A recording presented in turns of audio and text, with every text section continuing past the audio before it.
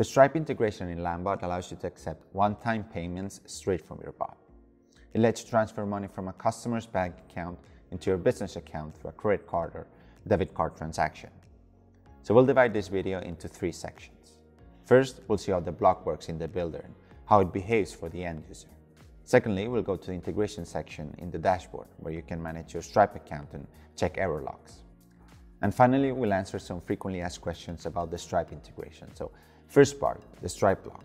In your builder, look for the Stripe block. If it's your first time adding a Stripe payment, you'll need to integrate your Stripe account. If you don't have a Stripe account, go to stripe.com and create one. It's pretty simple. Now, fill in the block with the following information. Company, a name your team will use to identify this particular Stripe account, in case you have multiple. The API key of your Stripe account, you'll find it in Stripe. And finally, the secret key of your Stripe account, also inside the account section in Stripe.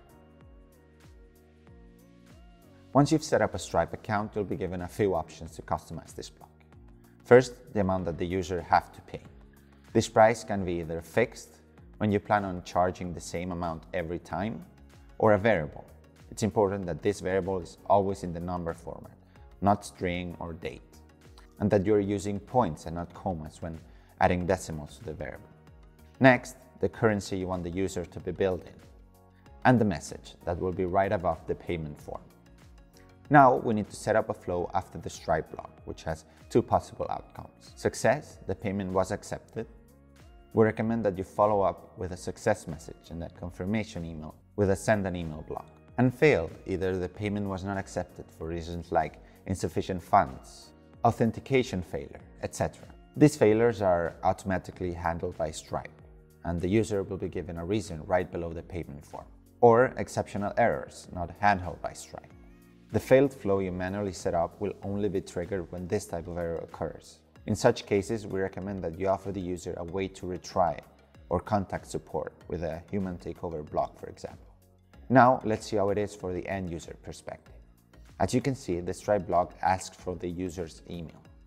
This email will be sent directly to your Stripe account to register the payment under that email address. But if you need to capture the user's email for other purposes, use the question email block. Well, so that's how the Stripe integration behaves and how the block is inside the builder. But to manage accounts and check error logs, you have to go to the integration section in your dashboard. Here you can edit your Stripe accounts linked to Landbot. It might be just one or maybe more, but here you can add or delete your Stripe accounts. In the Error Logs tab, you can check the errors and activity of your integration. So let's move into some frequently asked questions. Thank you. First one, can I change the text that appears in the button Pay in the Stripe block? Yes, go to the Settings section in your Builder, Custom System Messages, and inside Buttons, you'll find the Pay Stripe text that you can change. Can I set a recurring payment with the Stripe block? No, the Stripe block allows just one-time payments. So that's all. Now you know everything you need to know to start accepting payments in Landbot through Stripe.